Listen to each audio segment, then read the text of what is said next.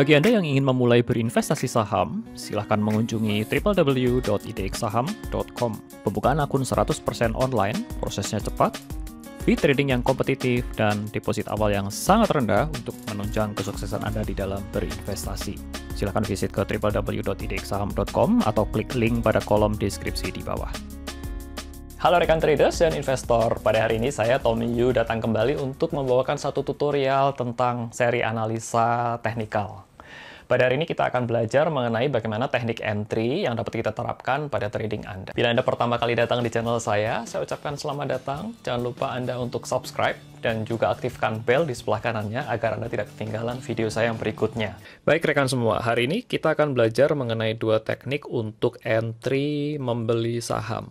Ya, kita langsung masuk ya. Yang pertama, saya akan membahas yang kita sering sebut sebagai yang namanya buy on weakness. Buy on weakness itu apa? Itu tidak lain adalah sebenarnya kita beli di saat saham itu melemah. Misalkan kita kita ada harga saham ya seperti ini, sampai contoh. Seperti ini, kemudian dia turun dan dia ketemu dengan support di bawah.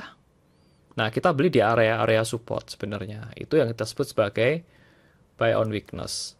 Contohnya seperti ini ya. Misalkan ada satu saham, ya Anda bisa tarik garis supportnya itu sebagai ini. Anda ada titik ini, titik ini.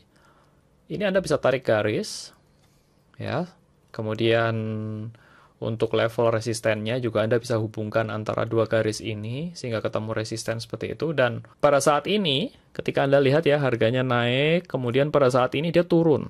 Turun cukup dalam, dan kalau Anda hubungkan dua garis ini, Anda akan ketemu bahwa saham ini sudah mencapai yang namanya level support. Ini adalah timing atau posisi yang menurut saya cukup baik. Anda tinggal tunggu saja kapan belinya. Belinya adalah ketika esok harinya Anda tunggu mantul.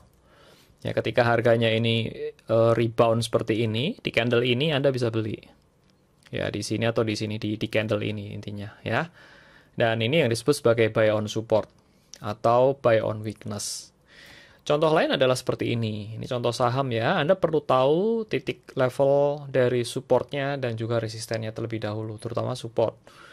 Nah, saya bisa garis seperti ini. Kalau ini ada titik di sini, ini saya bisa tarik garis. Ini juga bisa. Ini adalah level ya kira-kira di sini lah. Ini adalah area-area support. Oke, dan kapan belinya? Belinya jangan langsung ketika support Anda beli, tetapi Anda harus tunggu sampai ada suatu konfirmasi. Ya, biasanya konfirmasi ini adalah satu candle yang mantul ke atas seperti ini. Di candle ini Anda bisa beli. Nah, kurang lebih itu adalah contoh dari buy on weakness, yaitu beli di area support. Yang kedua adalah teknik entry yang disebut sebagai buy on breakout. Nah, buy on breakout ini berbeda dengan tadi. Ya, buy on breakout ini adalah ketika kita beli ketika harga ini tembus dari resisten. Jadi kalau Anda bisa lihat di sini, ini adalah resistennya, Anda bisa hubungkan titik-titik di sini. Ya, Anda tarik garis seperti ini. Nah, pada saat ini itu ini break. Breakout.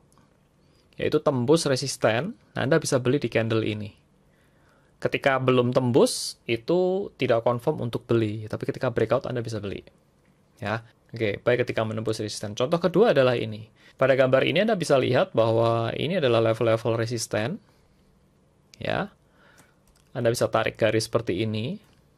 Buy-nya di mana? Buy-nya di sini. Biasanya ketika harga saham tersebut break resisten, maka dia akan naik terus dan cukup kuat naik ke atas. Dan sebagai notes, ya trade pada saham-saham yang sideways atau uptrend only. Ya, saham-saham yang downtrend Anda jangan pilih. Yang teknik buy on weakness itu disarankan digunakan pada saham-saham yang sideways atau uptrend yang memiliki swing lebar.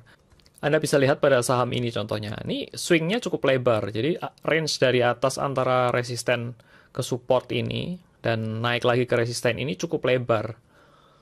Persentasenya cukup cukup tinggi ya untuk nge-swing. Jadi ekspektasinya ketika Anda beli di sini nanti swingnya ini cukup lebar dan targetnya di sekitar sini. Dan yang kedua pada buy on breakout itu pilih hanya saham-saham yang range-nya kecil. Anda bisa lihat ini ya. Ini ini naik turunnya ini kecil ya, bergerak kira-kira mendatar begitu sampai suatu saat ini ini break di sini. Demikian pula yang contoh nomor 2, Anda bisa lihat ini uh, swingnya ini relatively tidak se tidak cukup tinggi ya. Anda bergeraknya ini nggak terlalu lebar, swingnya tipis. Kemudian ketika ketika break di sini, Anda bisa beli di sini. Oke, jadi BOW digunakan pada swing yang lebar, dan teknik BOB ini disarankan digunakan pada saham uptrend yang memiliki range swing yang kecil. Nah, saudara, itu tadi adalah video tentang dua teknik yang kita dapat gunakan untuk entry posisi pada suatu saham. Ya, bila Anda menyukai video saya, maka jangan lupa untuk klik like, komen, dan share kepada rekan Anda. Terima kasih sudah menonton video saya, dan salam sukses buat Anda dan cuan selalu.